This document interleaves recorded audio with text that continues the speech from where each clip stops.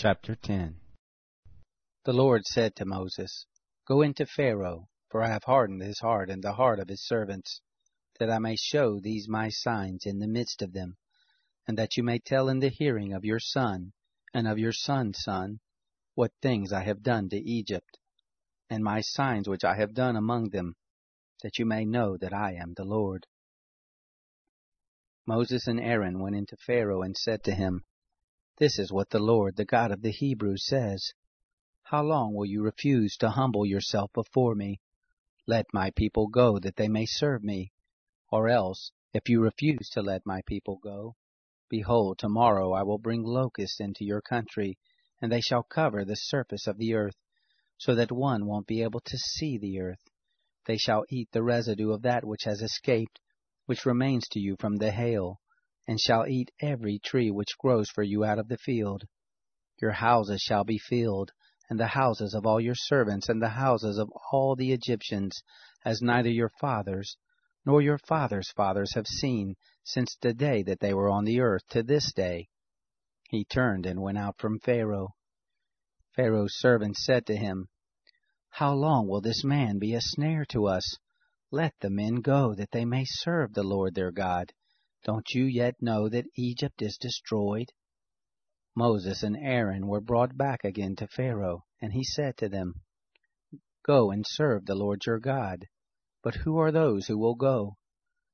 Moses said, We will go with our young and with our old, with our sons and with our daughters, with our flocks and with our herds will we go, for we must hold a feast to the Lord. He said to them, the Lord be with you if I will let you go with your little ones. See, evil is clearly before your faces. Not so. Go, now you who are men, and serve the Lord, for that is what you desire. They were driven out from Pharaoh's presence. The Lord said to Moses, Stretch out your hand over the land of Egypt for the locust, that they may come upon the land of Egypt and eat every herb of the field, even all that the hail has left. Moses stretched forth his rod over the land of Egypt, and the Lord brought an east wind on the land all that day, and all that night, and when it was morning, the east wind brought the locust. The locust went up over all the land of Egypt, and rested in all the borders of Egypt. They were very grievous. Before them there was no such locust as they, neither after them shall be such. For they covered the surface of the whole earth, so that the land was darkened. And they ate every herb of the land, and all the fruit of the trees which the hail had left.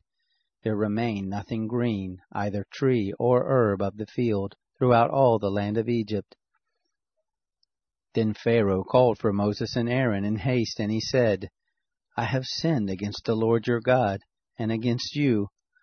Now therefore please forgive my sin again, and pray to the Lord your God that he may also take away from me this death.